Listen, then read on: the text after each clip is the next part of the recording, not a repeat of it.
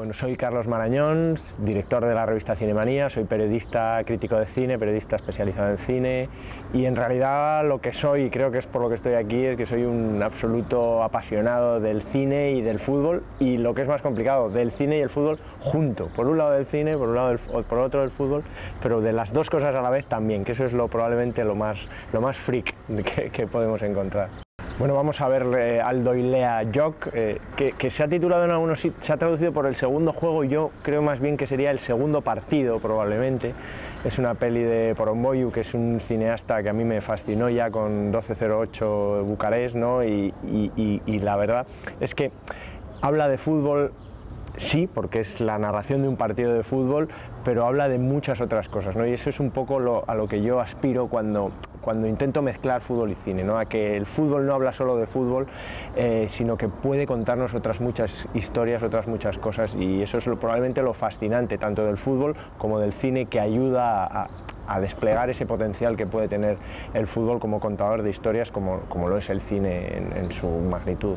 Bueno, la película de Poromboyu la verdad que aporta varias novedades que yo creo que son prácticamente inéditas. Una de ellas es el juego en sí. El juego del fútbol es muy difícil recrear la belleza, hacerlo en ficción es muy complicado, lo hizo Evasión Victoria, que se ha convertido en una película mítica para mí, que también escribí otro, otro libro sobre esa película, que es como la Casa Blanca del cine, digamos, pero sí que es verdad que es muy difícil recrear el fútbol, recrear el juego, hacerlo interesante. En este caso, cuando tú ves un partido, y lo dice la película, el partido parece que se acaba en sí mismo, que, que, es de, determinada época y que es muy difícil que eso pueda tener interés después de, después de ese momento en el que, en el que se disputa, en el que es, trascendente. ¿no? Esta película te cuenta que eso además es, eh, es mentira, porque además de contarte un partido de los años 80 que realmente tiene un interés deportivo muy eh, pequeño para una persona que lo ve desde España incluso, eh, lo que te está diciendo es que ese juego, ese partido, tiene un trasfondo por detrás, tiene una historia que,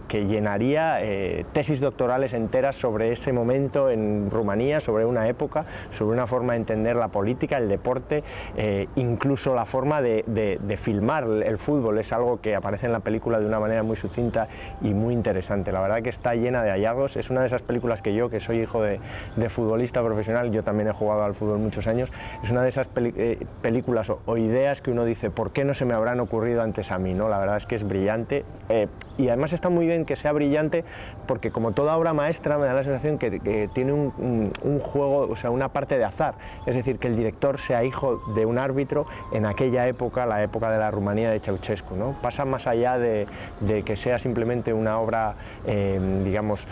mérito solo del arte de una persona de una persona, sino que además incorpore ese, azar. A mí me parece además una cosa como de obra encontrada que lo hace muchísimo más grande todavía.